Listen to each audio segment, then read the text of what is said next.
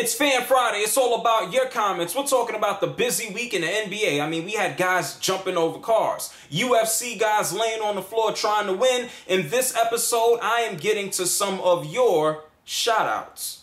Hello, people. It's Step Up 23 from Paris, France, and you're watching the JR Sports Brief.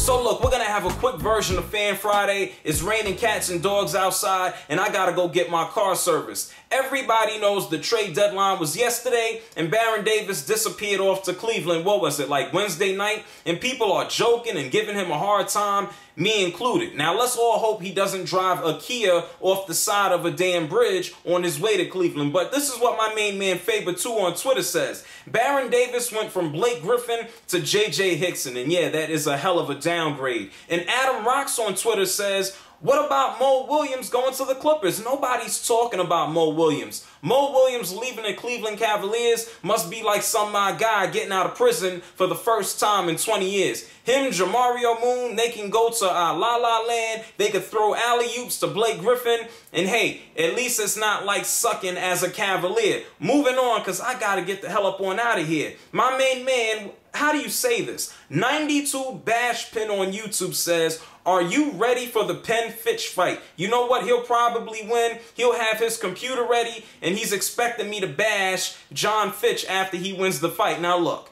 I'm not gonna bash Jon Fitch. It's just something about ordering or watching a pay-per-view and watching some guy lay on another man for what, like 25 minutes? I don't want to see that trash. Get up, stand up, throw some punches, uh, put the guy in a damn triangle lock, uh, arm bar, uh, uh, Indian scissor hold. I'm making stuff up now. Bottom line is, when you watch UFC, nobody wants to see two guys just laying on the floor.